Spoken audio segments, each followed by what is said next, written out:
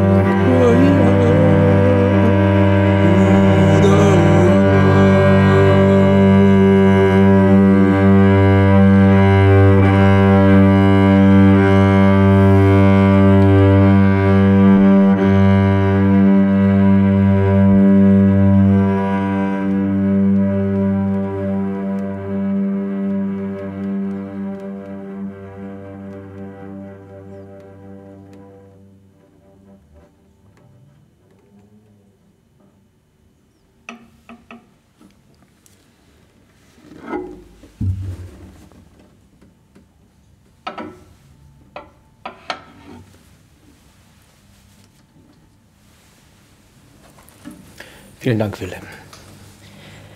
Es ist noch nicht so sehr lange her, da hatten wir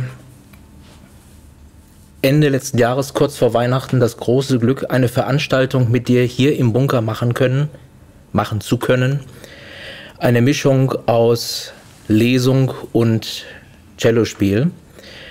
Ähm, das hat uns umso mehr gefreut, als es bis zuletzt noch gar nicht sicher war, ob es wirklich stattfinden kann. Corona-bedingt mussten wir viele Dinge verschieben und wir haben großes Glück gehabt, dass das gerade dieses Thema in der Vorweihnachtszeit doch noch auf die Bühne konnte. Töne um Vergebung. Kannst du uns kurz erzählen, worum es darin inhaltlich geht? Ja, ich würde gerne die Einleitung äh, lesen, weil sie ähm, äh, in das Thema, in diese Geschichte, glaube ich, sehr komprimiert einführt.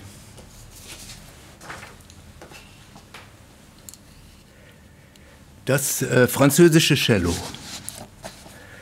Rudi, also geschrieben äh, 2015 am 31. August.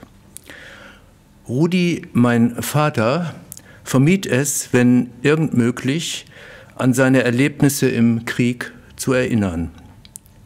Mit dieser schrecklichen Zeit wollte er nichts, aber auch gar nichts mehr zu tun haben. Sie hatte sein junges Leben fast zerstört.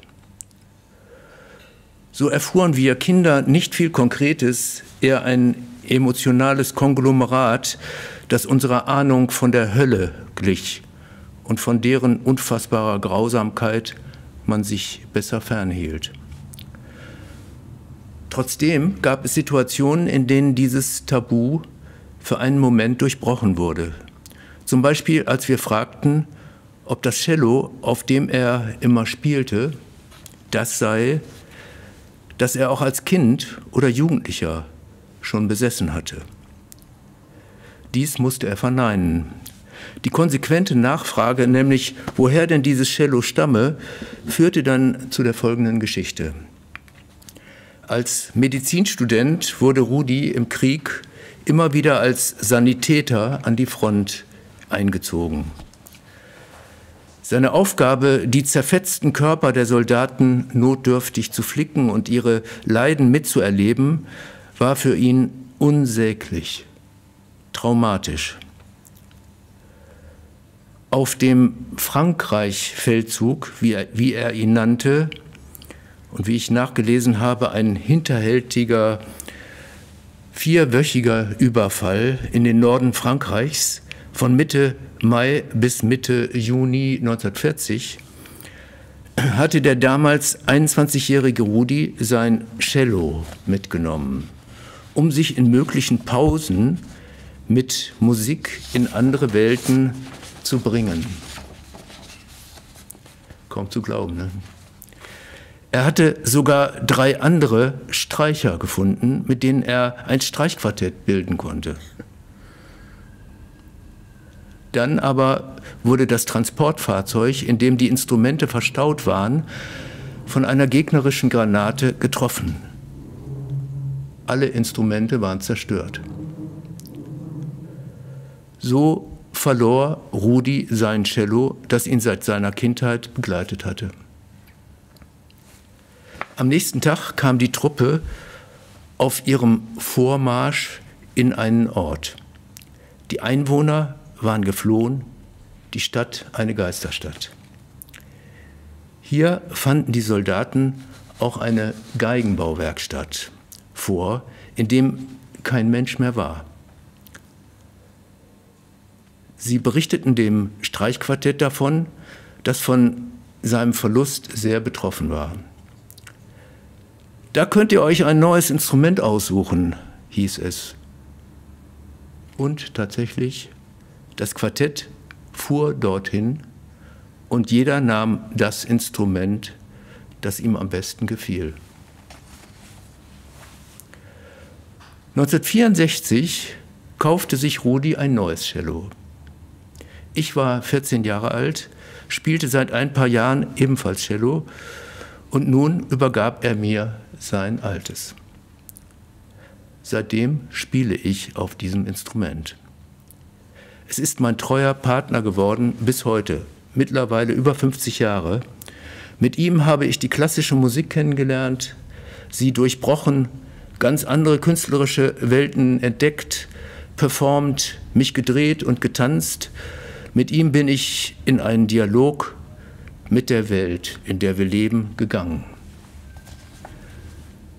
2014 starb mein Vater, 95-jährig. An seinen Sterbetagen konnte ich wegen täglichen Auftritten in Berlin nicht bei ihm sein. Als ich aus dem Fenster schaute und innerlich bei ihm war, fiel mir eine Melodie ein, die er früher beim kammermusikalischen Musizieren oft gespielt hatte. Aus dieser komponierte ich ein Cellostück für ihn, das ich ihm noch direkt vor seinem Tod durch das Telefon ins Ohr spielen konnte. Auf seinem alten Cello. Dies erinnerte mich an die Geschichte, die jenes Cello mitgemacht hatte. Krieg, Gewalt, Leid, Hoffnung, Glück. Das gesamte Spektrum menschlicher Erfahrung. Und vielleicht habe ich es unbewusst auch deshalb nie als heilige Antiquität behandelt, sondern als Instrument, mit dem ich zu jeglichem Ausdruck, jeglicher Interaktion bereit war, die unser Leben hervorruft. So als wollte das Cello seine gespeicherten Traumata aus den Rippen quetschen und nach Freiheit und Vision suchen. Und in mir entstand das Bedürfnis, an den Ort der Kriegsbeute zurückzukehren, um eine Art der Versöhnung zu finden, worin immer diese bestehen könnte. Wo aber war dieser Ort? Einmal hatte Rudi mir den Namen der Stadt genannt. Ich hatte das vage Gefühl, dass es eine Stadt mit T war. Aber in Nordfrankreich gab es keinen Namen, der mir bekannt vorkam. Auch nicht im Gesamtverzeichnis der französischen Städte. Daraufhin ging ich auf der Landkarte die nordfranzösischen Städte durch und tatsächlich, plötzlich war da ein Ort, dessen Klang mir bekannt vorkam. Da mir Rudi in Erinnerung kam, wie er sich als nicht französischer Sprechender mit mehreren Nasalen mühte. Saint-Quentin. Das könnte der Ort sein.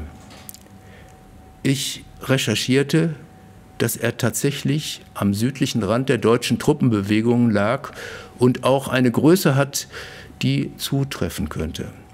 Allerdings gibt es heute keine Geigenbauwerkstatt mehr dort. Es wäre also herauszubekommen, ob es eine solche oder ein Musikgeschäft 1940 dort gegeben hat. Und wenn ja, ob es noch Menschen gibt, die sich daran erinnern können oder damit zu tun haben.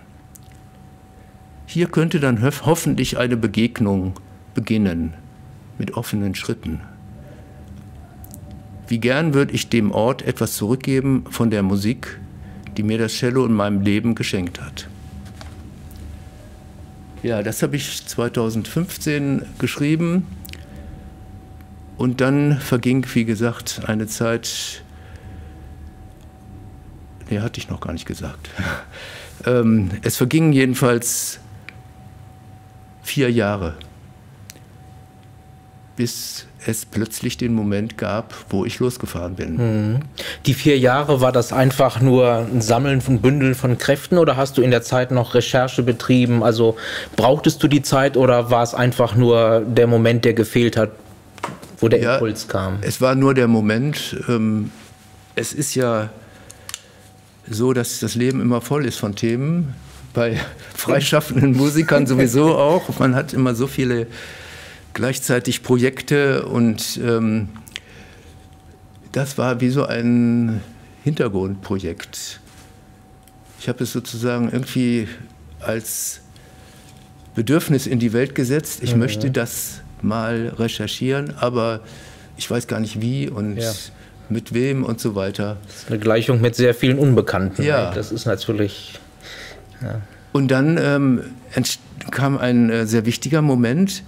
Ich erzählte einer ähm, Bekannten von mir in Berlin, mit der ich äh, zusammenarbeite ähm, in, in, einer Hochschule, ähm, diese Geschichte oder diese, diese Frage.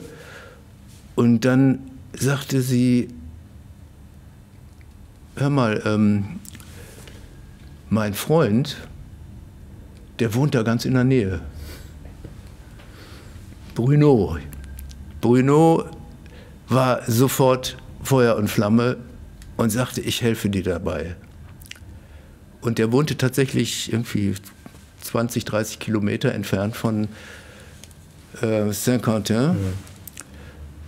Und dann gab es nochmal einen Moment, nämlich als meine Frau wegen einer ganz anderen Sache nach Frankreich wollte und sie sagte, willst du mich nicht begleiten? Ähm, und da kam mir die Idee auf, ja, wenn sie da, das war so ähm, in der Champagne, wo sie hin wollte, wenn sie da was vorhat, dann könnte ich ja in der Zeit mal den Spuren nachgehen. Und Bruno hatte Zeit und so ging es plötzlich los. Mhm. Und das also ohne irgendwelche Vorbereitungen, ja. sondern ich bin einfach nur hingefahren. Ja. zu ihm nach Hause und dann war für uns beide die Frage, ja, wie, wie, wie gehen wir jetzt weiter? los? Ja. und das Tolle ist, ähm, der Zufall, oder wie man ja in der ähm, Musik auch sagt, die Aleatorik, Alia, der Würfel, äh, hat uns den Weg geführt. Ja. Wir sind erst mal dahin gefahren, wo ähm, Bruno seine Bekannten hatte, nämlich gar nicht nach Saint-Quentin, sondern in der, die Stadt in der anderen Richtung, Amiens. Hm. Dort ähm, wohnte zum Beispiel sein Cousin, der Geigenbauer war und dem er das gerne zeigen wollte. Und den fragen wollte, ähm, sag mal, fällt dir da irgendwas zu Wo ein? setzt man da an, naja. Und dann sind wir da hingefahren, aber der war erstmal gar nicht da. Und dann haben wir ähm, gesagt, okay, der kommt erst heute Nachmittag, besuchen wir doch erstmal noch den und den Freund. Ne? Also er hatte da verschiedene Bekannte ja. und dann haben wir tatsächlich einen Künstler und dann einen Bootsbauer und äh, besucht und überall entstanden schon Momente, wo ich das Gefühl hatte, nicht nur ich, sondern das Cello. Mhm. Woll, äh, wir wollen Reagiert. zusammen da ähm, irgendwie ähm, hin und mhm. auch etwas geben. Mhm. Und dann haben wir schon da ganz kleine Konzerte gemacht, zum Beispiel in dem großen Bauch eines Schiffes, der zu einem Eventraum ausgebaut werden sollte und der noch totale Baustelle war ne? und wo plötzlich ein wahnsinniges Echo mhm. erklang. Ähm, und dann nachmittags ähm, war eben der Geigenbauer da, der guckte sich das an und ihm war sofort klar, wo das Cello gebaut werden, worden ist, mhm. nämlich in Mirecourt, mhm. einer ähm, Stadt, eine Geigenbauerstadt in Frankreich, so ähnlich wie sie in ähm, Deutschland ähm, Mittenwald, Mittenwald Klingenthal ist ja, zum ja, Beispiel. Ne? Und ja, ähm, dann auch wieder wie, wie bestellt, kann man fast ja. sagen, ähm, saß dort ein Sinti, der ein Cello an den Geigenbauer verkaufen wollte. Der saß einfach da, gerade als wir da reinkamen und ähm, kriegte das mit, dass wir darüber sprachen und dann haben wir den, erst den Geigenbauer gefragt, sag mal, ähm, fällt dir da irgendwas zu ein? In Saint-Quentin gab es da auch mal einen Geigenbauer. Und dann sagte dieser Sinti, ja, ich weiß, dass es da einen gab, nämlich einen, den Herrn Lucas.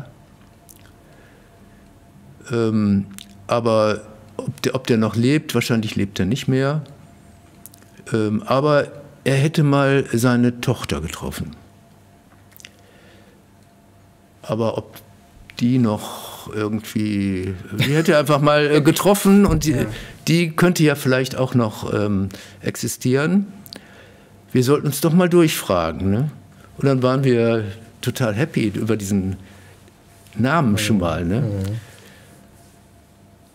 Und dann sind wir rausgegangen und dann kamen wir, dann kamen noch bestimmt noch drei, vier, fünf andere Stationen in Amiens, ähm, wo wir noch weiter geguckt haben, weil wir schon da waren. Ähm, welche Orte wollen noch das Cello hören? Ne? Ja, und dann ja. war das eine alte Klosterkapelle, ähm, die jetzt ein Kulturzentrum war, so ein bisschen ähnlich wie hier ähm, die Capella Hospitalis. Dann ähm, gab es aber auch ähm, eine, äh, die, die ähm, Kathedrale, ähm, äh, die Kathedrale Notre Dame. Mhm von äh, Amiens, ein riesiger Bau. Das erste Haus am Platze sozusagen. Das erste Haus am Platze, wo wir reingegangen sind und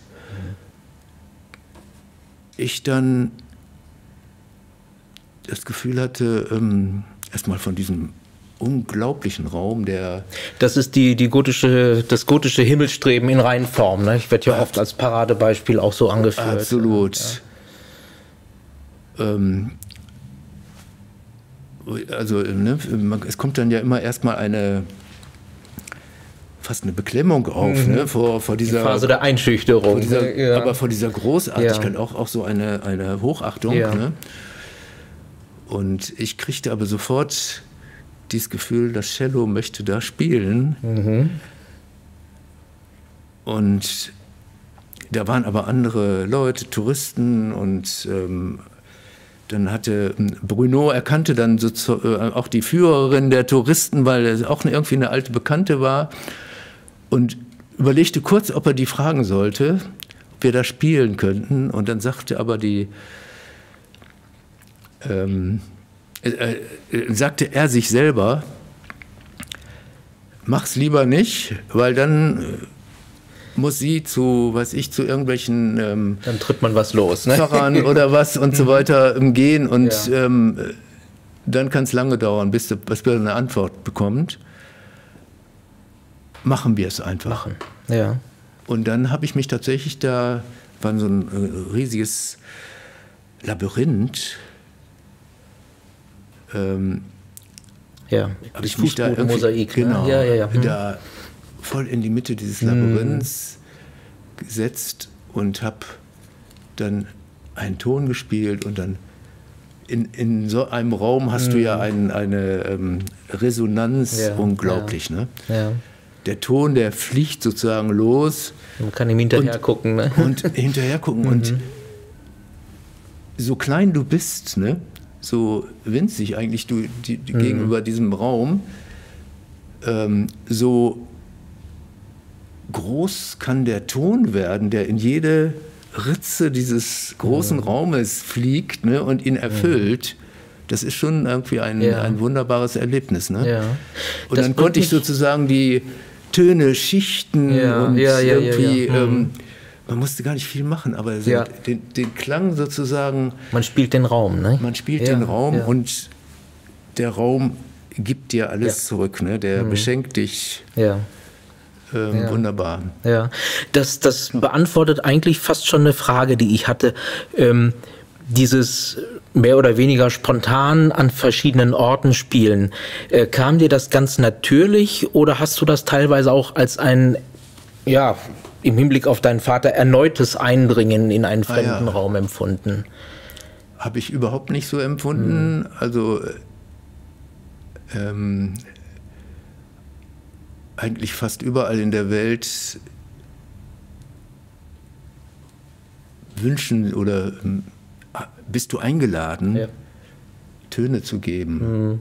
Ne, ich war auch in Afrika mit ähm, Instrumenten mhm. und in, in, verschiedenen.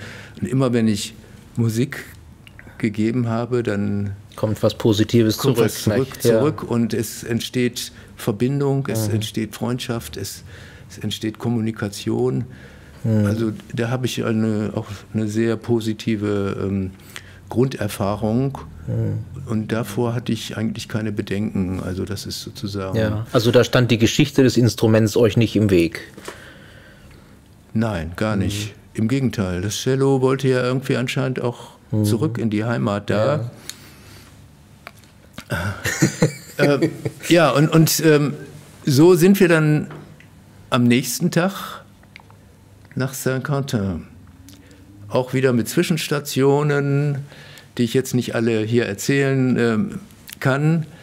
Also wirklich äh, auch wunderbare Zwischenstationen, wo ich für eine demenzkranke alte Dame gespielt habe und so weiter. Und ähm, wo wir dann äh, auch das jetzige Musikgeschäft getroffen haben, was da jetzt ist was aber mit Herrn Lucas nichts zu tun hatte, sondern ein neues, wo man einfach erleben konnte, wie auch Musikgeschäfte dieser, ich sag mal, dieser, dieser alten Art allmählich alle kaputt ja, gehen. Das Internet, ne?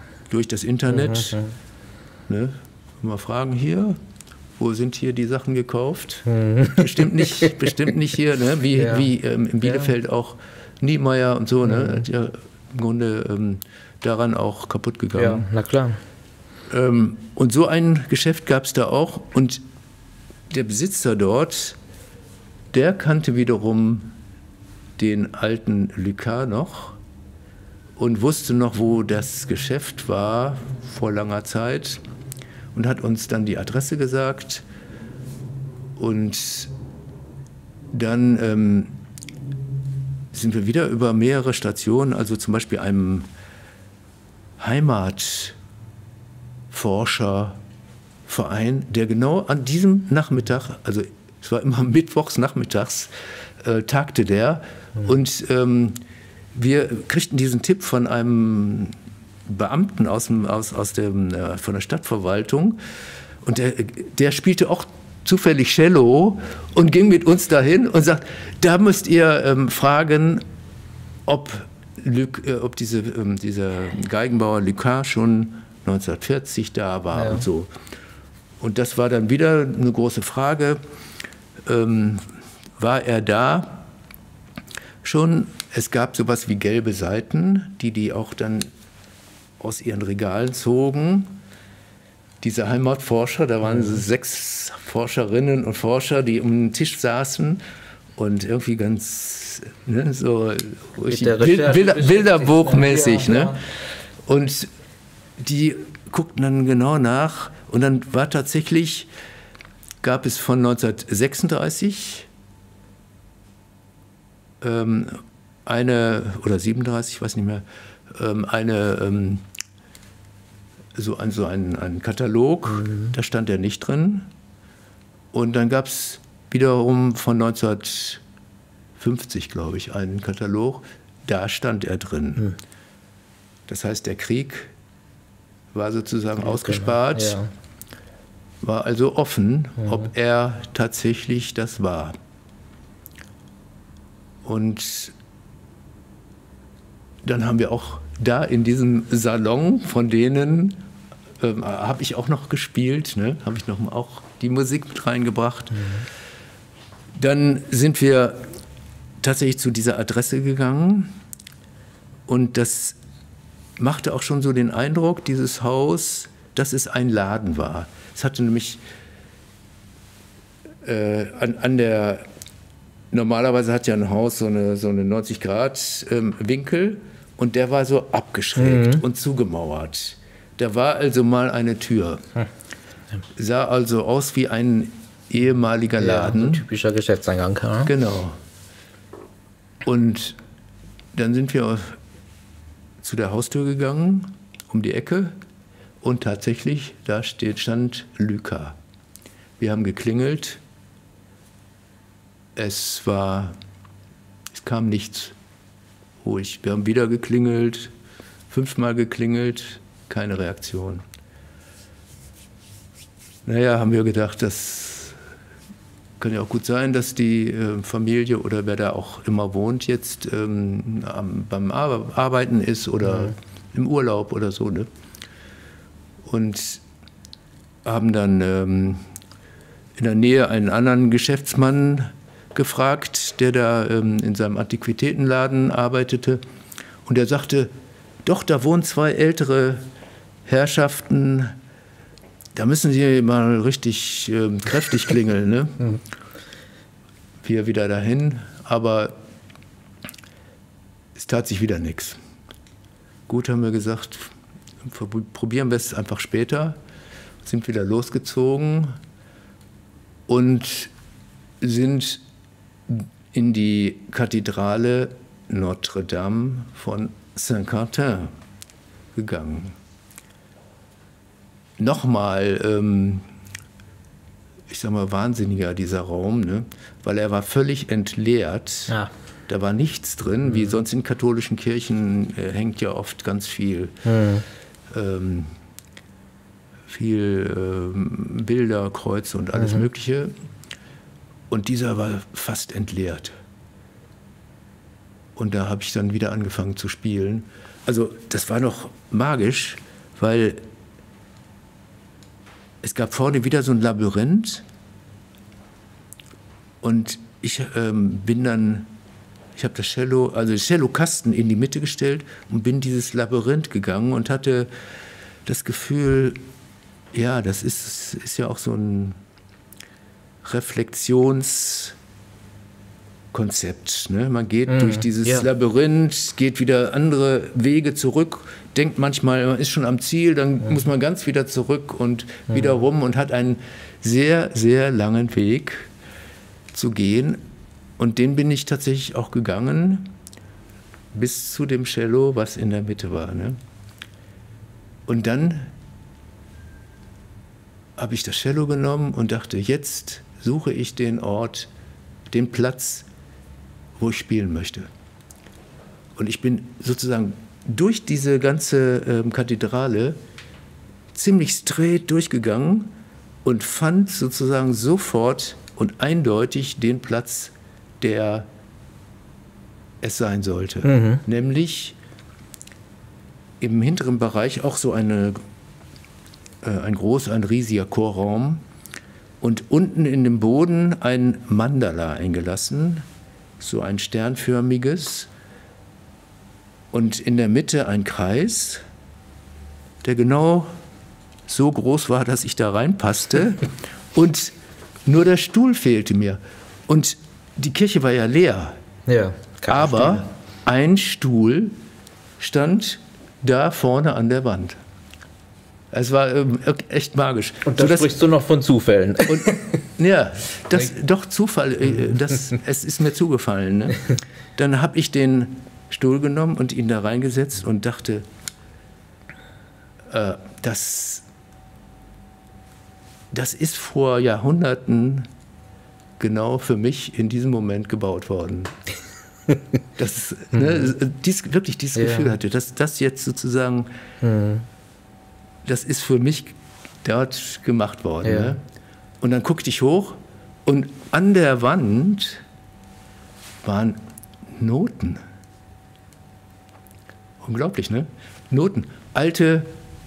Ähm, Neumann oder? Ja, sowas. Mhm. Ähm, gregorianische ja, ja, ähm, Choralnoten. Mhm die teilweise auch verwittert waren. Mhm.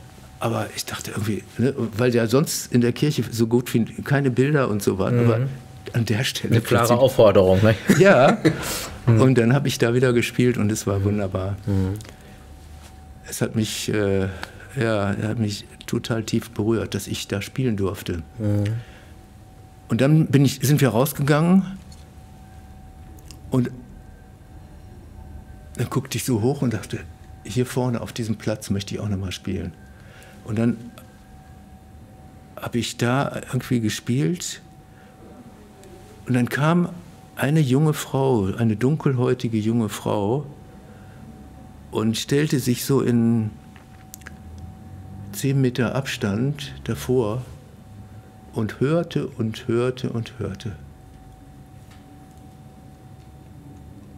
Und da habe ich so gemerkt, ähm,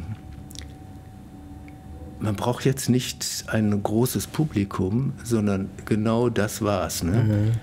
Mhm. Ja. Das war ein, ich weiß nicht, äh, an was sie das erinnert hat, aber es war für mich ein, wieder ein magischer Moment. Eine von ganz vielen intensiven Begegnungen, die du ja. haben durftest. Ne? Ja. Und dann sind wir losgegangen und ähm, hatten das Gefühl, boah, wir müssen uns irgendwie Luft verschaffen, kommen auf einen Platz und da war eine, eine völlig skurrile Bar. Wir da rein, äh, wollten ein Bierchen trinken, um uns zu irgendwie zu erden, zu, ja, zu erden. mhm. Und dann ähm, war, das war eine Bar. Ihr müsst ja, das ist ein bisschen ähm, wie hier die, wie der Bunker hier, ne? Mhm. Aber jetzt lauter ähm, Plakate, ähm, Instrumente, erotische ähm, Bilder, ähm, Schriftgeschichten aufgehängt, hingestellt, mhm. ähm, Ähm, Illumination und so weiter. Ne? Mhm. Und so eine richtig verrückte, ähm, abgefahrene Bar. Und die Frau da, die hat uns sofort eingeladen. Und dann hatte die einen kleinen Hund, der da immer so rumwuselte. Und dann holte sie ihn heran und sagte, nimm, nimm auch Platz hier. Ne? Setzte er sich dahin. Und dann holte sie ein Getränk, so ein grünes Getränk für den Hund, stellt das vor ihn hin und dann fing er an, das da raus aus dem Glas zu trinken. Ne? Es war so witzig. Wir, also wir haben so, wir konnten plötzlich so lachen wieder. Ja, ne? Also ja. die ganz andere, ja. im, im, äh, in der Musik nennt man das ja Kontrapunkt. Ne? Mhm. Ne? Auf der einen Seite das, weiß ich, das Dramatische oder das äh, Melancholische mhm. oder so und dann wieder das mhm. Ausbrechende oder das äh, Fröhliche oder so, ne? als Spannungs. Ne? Mhm. Und das haben wir total erlebt. Das habt ihr auch in Extremen. Total, ja. Mhm. Aber alles so dicht hintereinander. Ja, ja, ja. ja. Mhm. Ja, und dann, ähm, nachdem sie uns dann auch noch, noch mal einen ausgegeben hat, gingen wir wieder los zu der Stelle, zu dem Haus von Lucas, klingelten und tatsächlich die Tür ging auf. halb auf. Und Bruno, Gott sei Dank hat Bruno, war Bruno bei mir, mhm. weil ich kann kaum Französisch sprechen, ja. nur so ein bisschen. Ne? Und er konnte sofort mit wenigen Sätzen klar machen, was, mhm. was für eine Geschichte wir ja. haben. Die Tür wurde geöffnet. Komm, kommen Sie rein, ne? Ja, natürlich, kommen Sie rein, ne? Wir setzten uns da in diesen Eckraum, wo diese schräge Tür war. Jetzt ein kleiner Salon mit zwei Sofas und einem Klavier. Sie, sie rief ihren Bruder, auch ein alter Mann, ähm, und die beiden waren ganz so, ne? Und dann ähm, haben wir diese, also Bruno hat dann mich immer übersetzt habe ich von der Geschichte erzählt. Und sie wussten sofort, was los war, denn die Frau war ähm, damals, ich glaube, die ist 1937 geboren. Die war also irgendwie vier Jahre oder, also jedenfalls mhm. ein kleines Mädchen und erinnerte sich, dass nach dem Krieg ähm, davon erzählt wurde in ihrer Familie. Denn es fehlte auch ein Auto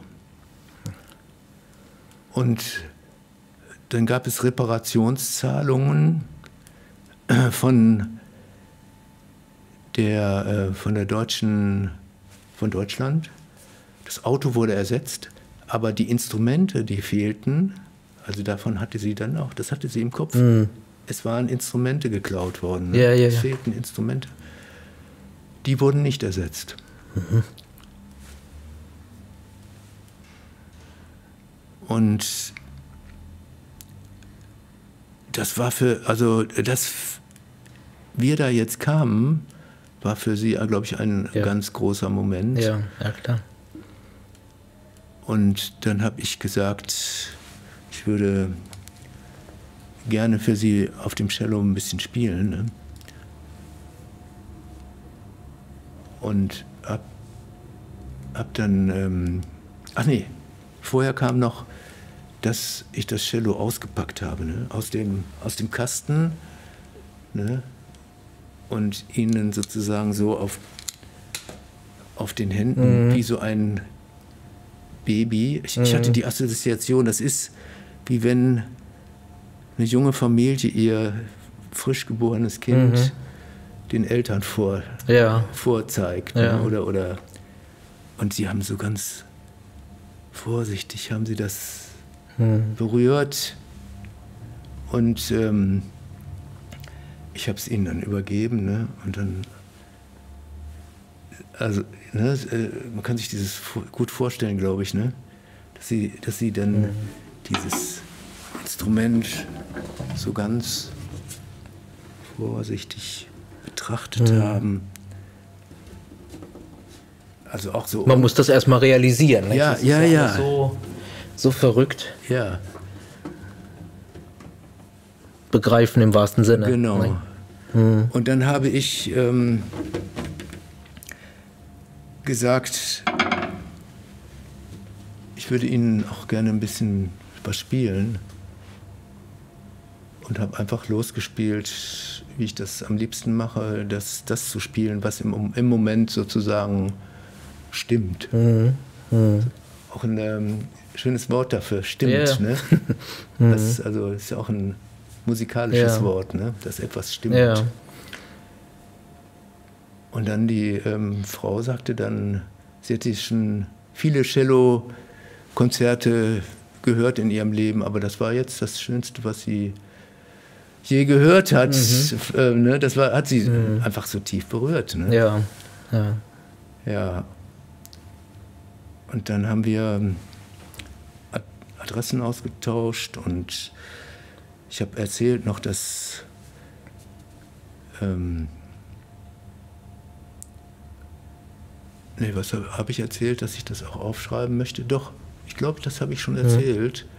Dass die Geschichte irgendwie und ja, vor allen Dingen, ich habe gesagt, ich würde so gerne auch noch mal ein Konzert in der Stadt geben. Ne?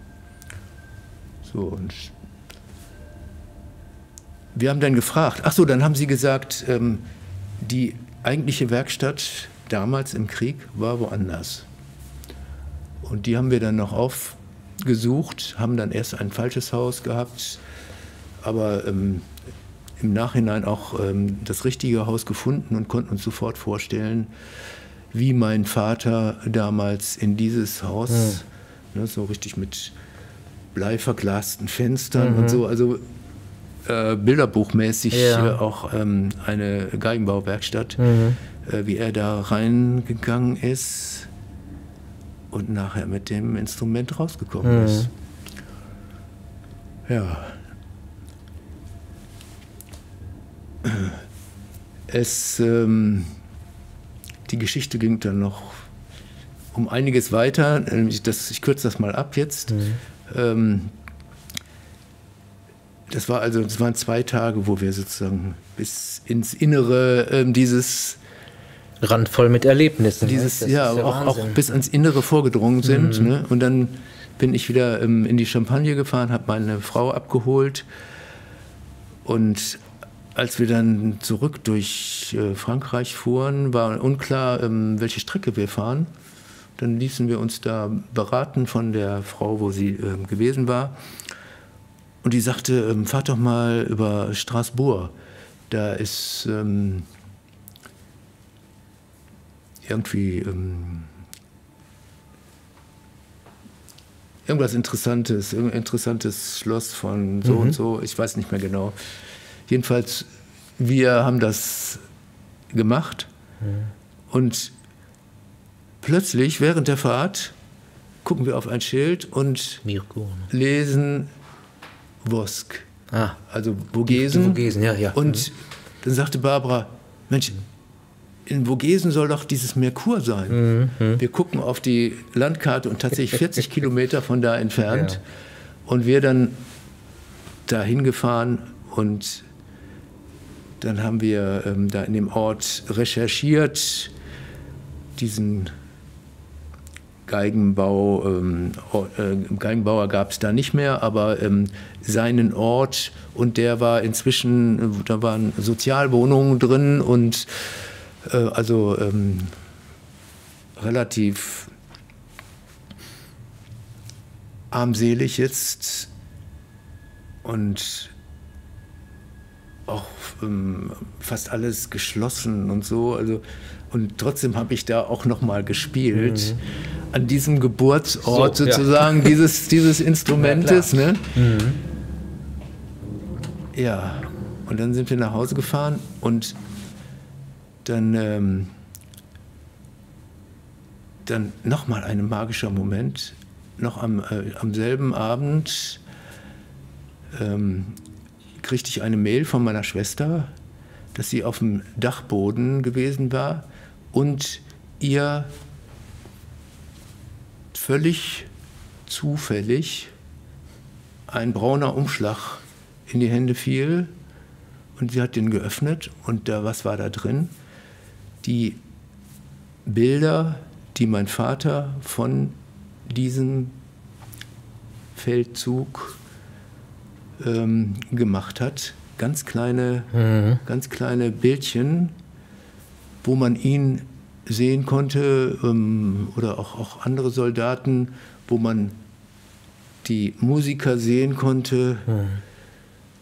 und wo man auch ein bisschen nachvollziehen konnte, dieses, ähm, ne, die, die, Jugend war ja auch verführt worden. Ne? Sie irgendwie dieses, zwischen diesem Wahnsinnsleid äh, und auch diesem ähm, äh, Versuch irgendwie, ich sag mal, das Beste draus zu machen oder mhm. so. Ne? Das, wie, wie, kann man sonst mit einem äh, Instrument in den Krieg ziehen? Mhm.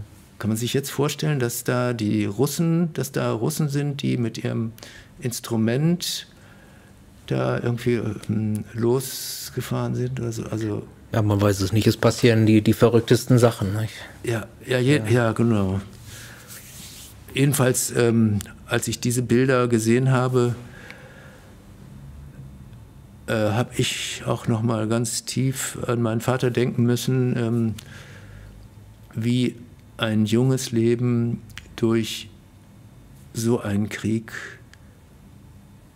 so ähm, fertig gemacht wird. Ne? Er hatte nachher auch noch schwere Verwundungen, also mhm. die ganze, bei, wurde später im Krieg noch ähm, was, so ein Granatsplitter durch, mhm. durch seinen Mund durch. Und, ja. Also, äh, jedenfalls etwas, was er sozusagen nach dem Krieg völlig abschneiden wollte, ne? mhm. wollte, aber mhm. vermutlich nicht konnte. Und da hieß es bei uns immer, ähm, früher, wenn wir, wir waren vier, vier Kinder, äh, streitet euch nicht, macht lieber Musik. Was ich ähm,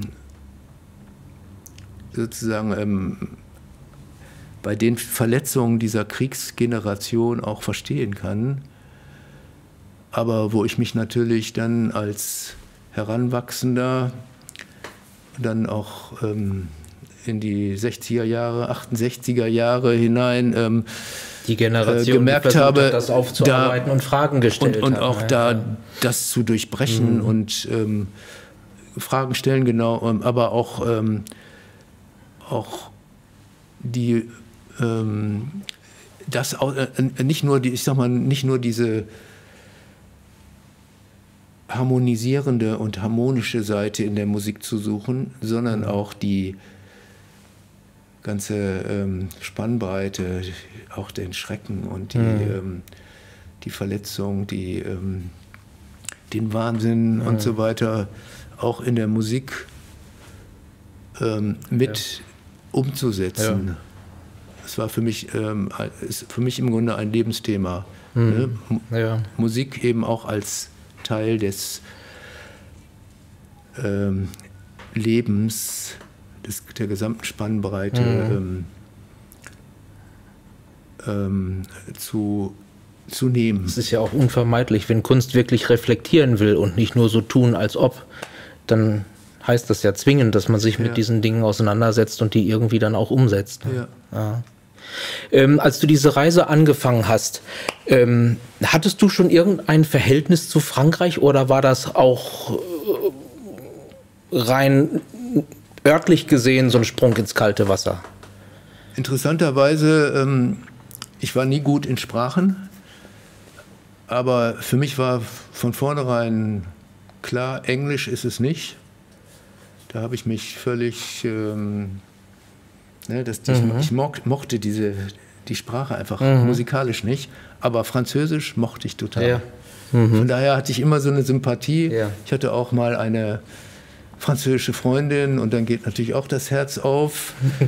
ähm, ja, so. Ich hatte eigentlich ein. Ähm, Schon eine Affinität Schon, oder ja, wie man auch- das nennen will. Ne? ja. Und- du und- warst aber vorher noch nicht in Frankreich, Doch, oder? doch. Schon. Okay. Mhm. doch so, also Ja. ähm, urlaubsmäßig und Ja, so schon. ja, ja. Gut, das ist wenigstens dann in dem Punkt jetzt kein kompletter Neubeginn, Nein, sondern nein. schon erste Nee, Schritte. ich habe ja auch schon in gewesen. Paris gespielt und so weiter. Ja. Ne? Also ich Ja. habe schon, schon Erfahrungen. Ja. Würdest du denn sagen, dass diese Reise und die Erlebnisse, die du dabei gehabt hast, dieses Verhältnis zum Land nochmal verändert haben? Oder ist das äh, eine ganz andere Geschichte? Naja, ich habe sozusagen nochmal in mir gefühlt, was da,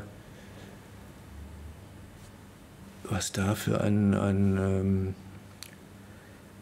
Wahnsinn zwischen den Nachbarländern passiert ist. abgelaufen ist. Und wenn ich jetzt Russland und Ukraine ähm, höre, die auch Brudernationen Ja. sind Ja. und, und auch ähm, da was voll durch die Familien geht, ne? dann denke ich auch, dass ähm, das ist also ähm, Schwer zu fassen. Ne? schwer zu fassen. Und von daher ähm, bin ich eigentlich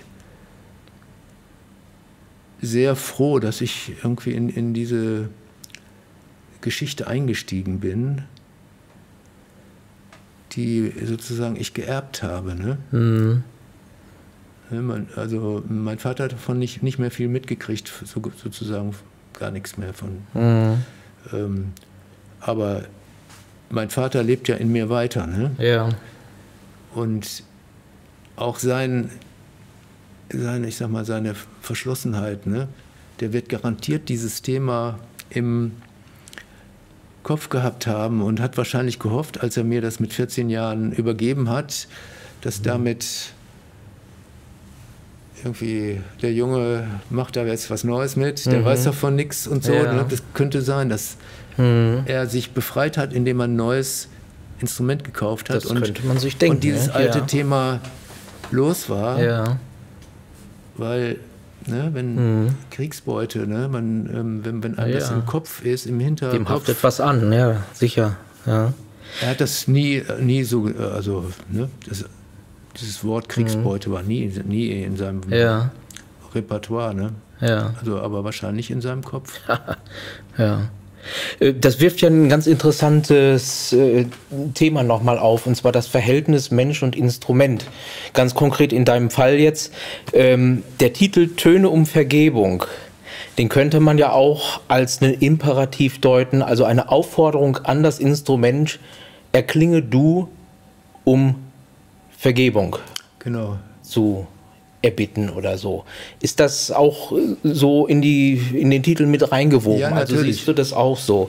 Und dann kommt natürlich die Frage, welches Verhältnis hat Willem Schulz zu seinem Cello? Mhm. Ist es mehr als nur ein Werkzeug? Natürlich durch die, Ja. durch die äh, Geschichte, die es mit sich gebracht hat, muss es eigentlich ja schon mehr sein. Aber die Frage ist trotzdem, wie geht ihr miteinander um? Sprecht ihr miteinander oder wie ist so dein, dein Verhältnis zu, zu diesem Cello? Ein Instrument ist ein Partner oder eine Partnerin. Es ist eindeutig, ähm, man ist verbunden, man ist aufeinander eingespielt.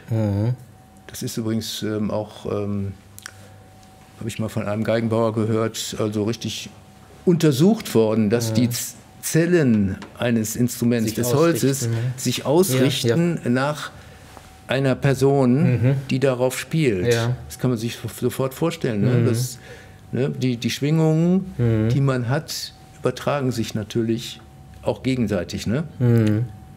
Ähm, und insofern wächst das zusammen und wenn das Instrument jemand anders übernimmt, ähm, muss er erst damit wieder warm werden. ne? Das ist auch, Ja. ich sag mal, wie mit einem Hund auch. Ne?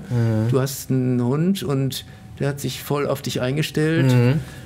Und jetzt, äh, ich sag mal, der, der Besitzer stirbt und er muss sich auf einen neuen einstellen. Und auch da gibt es dann eine Zeit der neuen Partnerschaft. Ne? Und mhm. ähm, das ist ein, eng, ein ganz enges Verhältnis. Das kennst du sicher auch mit deinem Instrument. Ein bisschen rhetorisch ist die Frage. Klar, gerade den Streichern sagt man das ja auch nach. Ne? Deswegen werden ja Instrumenten dann auch oft Namen gegeben von Vorbesitzern.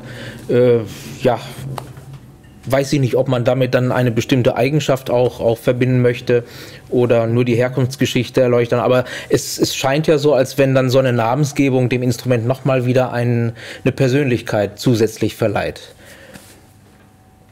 wenn man weiß, das ist halt, äh, es gibt zum Beispiel einen, einen ich meine, Stradivari Cello ex Gedron oder so, wo eben ein berühmter Spieler, der Gedron hieß, der Vorbesitzer war, ob das jetzt wirklich dieses Instrument in seiner Eigenschaft beschreibt oder einfach nur äh, ein Prädikat ist, wo es herkommt, ich weiß es nicht, aber man fragt ja. sich das natürlich so, ne? wie viel ist da Assoziation und wie viel ist da mhm. wirklich nachvollziehbar?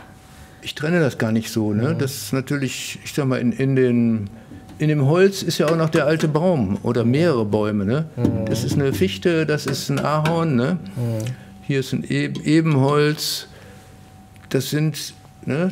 die stecken ja auch noch da drin, ne? mit ihrem Leben. Ne? Und so, also es ist ja eigentlich sowieso alles in einem Kontinuum zu verstehen. Ne? Und unsere Bilder, die wir uns dann davon machen oder unsere Emotionen, die wir damit verbinden, ähm, sind ja auch in einem Fluss. Ne? Und die Schuld meines Vaters äh, steckt in mir auch drin und ich habe versucht, die ein Stück weiter zu lösen oder zu weiter. Ähm,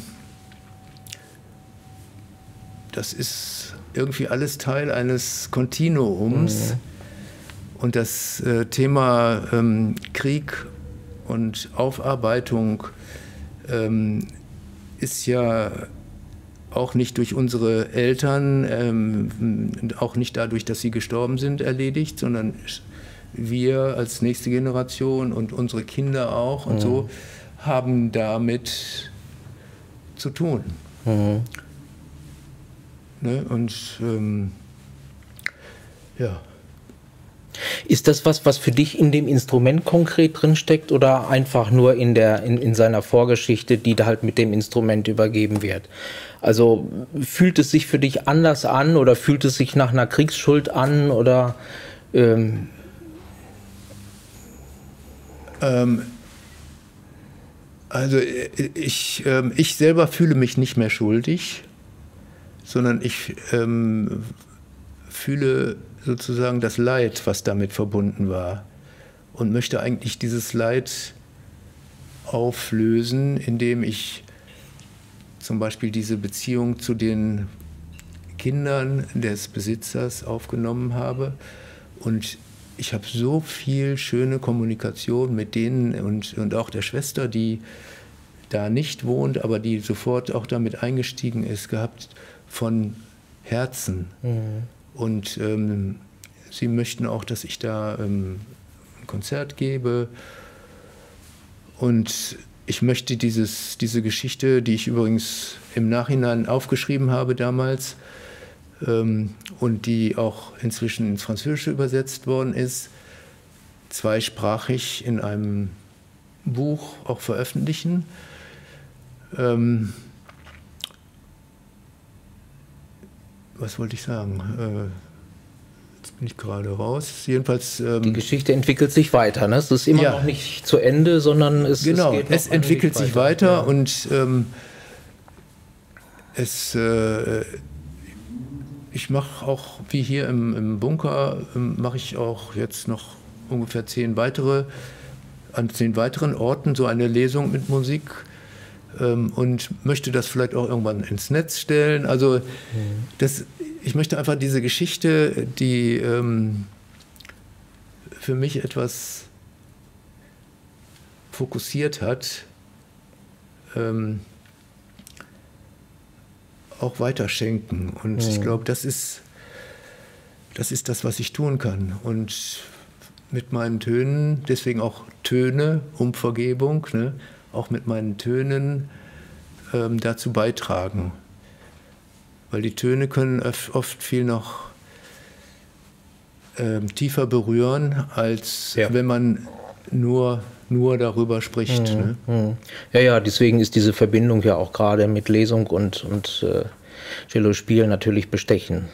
Mhm. Das ist schon sehr schön. Hat sich denn jetzt euer beider Verhältnis des Cello und du nochmal nach der Reise verändert oder ist es jetzt einfach nur irgendwo äh, in sich stimmig geworden und äh, Fragen beantwortet, aber ihr, ihr geht nach wie vor so miteinander um wie, wie vorher.